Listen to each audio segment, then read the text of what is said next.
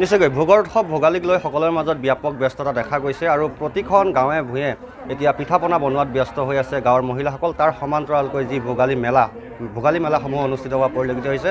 মই আছোঁ গহপুৰৰ ঘাঁহিগাঁও অঞ্চলত আৰু ঘাঁহিগাঁৱতো অসমী ভোগালী মেলা অনুষ্ঠিত হৈছে আৰু মহিলাসকলৰ ব্যাপক সঁহাৰি এই ভোগালী মেলাৰ প্ৰতি। মোৰ সৈতে যথেষ্ট সংখ্যক মহিলা আছে আপোনাৰ ওচৰলৈ আহিছোঁ। আহ, বাইদেউ কওকচোন যিহেতু ইমান মহিলা আজি ওলাই আহিছে সকলোৱে পিঠা পনা নিজে বনাই বনাই এইখিনি বিক্ৰী কৰিবলৈ আহিছে। কেনেকুৱা লাগিছে বিহু বহুত ভাল লাগিছে আচলতে। আমি অসম ৰাজ্যিক গ্ৰামীণ জীৱিকা অভিযান চৈদুৱাৰ উন্নয়ন খণ্ডৰ অধীনত আমি অসমী ভোগালী মেলা এই আয়োজন কৰিছোঁ দুদিনীয়াকৈ। আৰু আজি এইখন বজাৰত মহিলাসকলে নিজৰ যিখিনি প্ৰস্তুত সামগ্ৰী সেইখিনি লৈ আহিছে ইয়ালৈ হয়, নিশ্চয় পিঠা তিলৰ লাৰু জুতি লৈ থকা হৈছে। নিশ্চয় নিশ্চয়। ভোগালী মেলাৰে হয় ভোগালী মেলাৰে হয়। আজি আমাৰ মহিলাসকল বিহু বুলি ক'লে আমাৰ মহিলাসকল ব্যস্তই হৈ পৰে এসপ্তাহ আগৰ পৰা পোন্ধৰ দিনৰ আগৰ পৰা। কিন্তু আজি তেখেতসকলে এখন বজাৰ পাইছে তেখেতসকলে নিজে প্ৰস্তুত কৰা সামগ্ৰীখিনি আনি ইয়াত বিক্ৰী কৰিবলৈ বস্তু তেখেতসকলে বজাৰ পাইছে।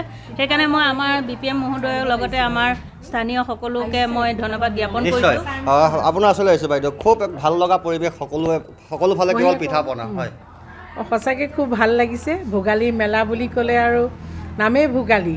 আমি ইতিমধ্যে পিঠা চাহ খাই শেষ কৰিছোঁ। যথেষ্ট পিঠা পনা আমাৰ অসমীয়াৰ যিখিনি বিভিন্ন ধৰণৰ পিঠা বনাই সকলো পিঠা আহিছে আচাৰ আহিছে হাঁহো আহিছে ওপৰত ভোগালী বিহুত খাব লাগে ভোগালী। বিহুত খাব লাগে সকলো বস্তু আহিছে। নিশ্চয়।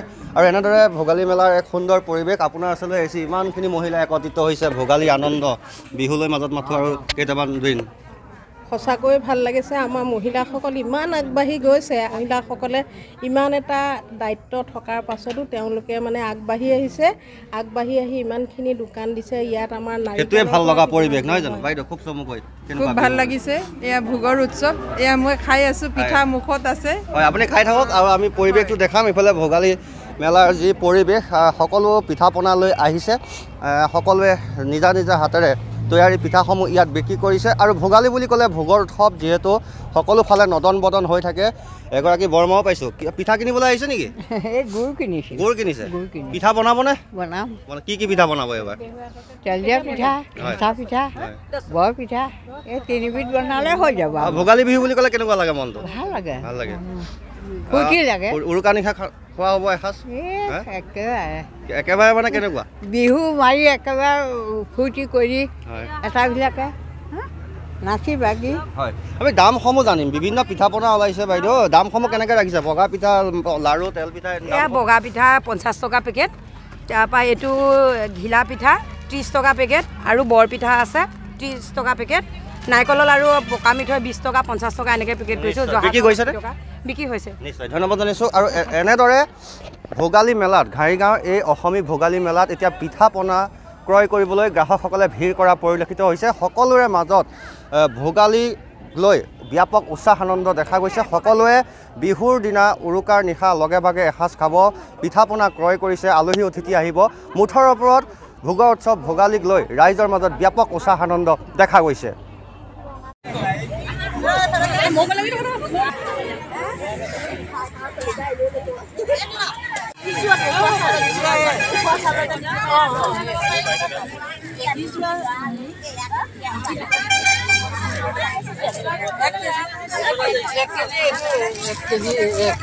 এক কেজি আছে ন